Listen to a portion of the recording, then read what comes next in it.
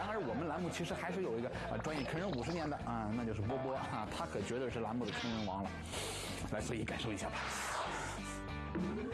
今天小李有事儿，开会要晚点来，叫我帮他跟领导说一下，并帮他向领导保证，一定会在会议结束之前赶到。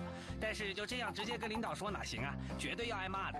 还好我灵机一动，把他在工作群的昵称改为了正义，这样大家就能知道正义也许会迟到，但绝不会缺席了。我真是太机智了，哈哈哈哈哈哈！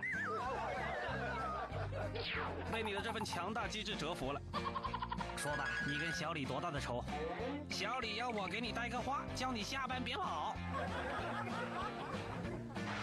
朋友们呐啊，你看看我身边都是一些什么同事啊啊，我都不想说了，简直就是奇葩一朵朵呀啊！说完波波这一朵，再来说说峰哥这一朵吧。不过这次呀，我可不是说他单身的事儿啊。不过这事儿呃，应该为什么单身，嗯，有着千丝万缕的关系。一起去他朋友圈看一看就知道了。长了颗智齿，疼得真难受，实在忍不住了，准备去拔牙。到了医院，开始准备工作。医生说已经打了麻药，准备拔牙了。哎，还没开始呢，你怎么就哭了？我说想哭，来试探一下自己麻痹了没？